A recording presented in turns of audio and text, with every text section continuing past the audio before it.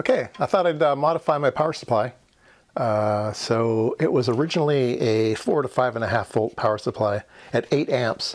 So it has this nice giant transformer in here. And uh, it used a um, uh, it used a circuit like this.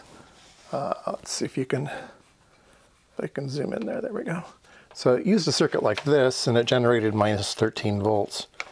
And um, so I've modified it with a circuit like this. And I put in a full wave bridge rectifier and that will give me plus and minus 13. And I had a lot of capacitors already left over in there, so I replaced the two diodes with the bridge and then I reused the capacitors that were already there. So, so let me show you that. Um, yeah, I think you can just barely see it. There's a, a bridge uh, a bridge rectifier in here now. There used to be two uh, two giant uh, diodes in there. So I took those out, put in the bridge, and uh, these two capacitors that used to actually be three capacitors all in parallel.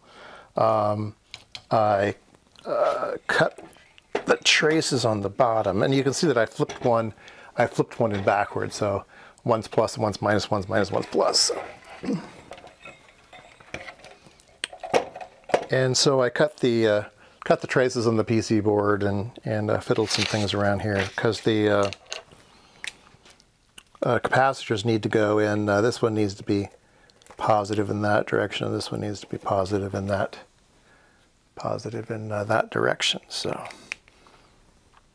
all right, and so ground is the center tap, and these are the this is the plus, this is the minus. So let's see if it works. Uh, let's see. I think you'll be able to see this all in camera. That's close enough. Is that going to be okay? Yeah, that's all right.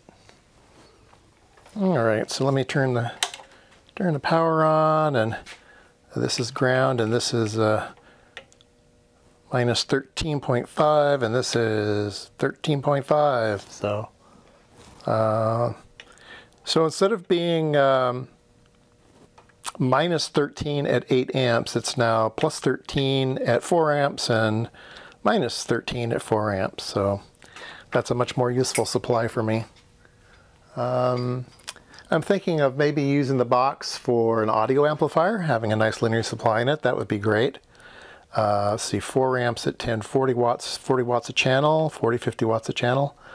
Um, that would be good. And um, yeah, should be lots of uses for this box now.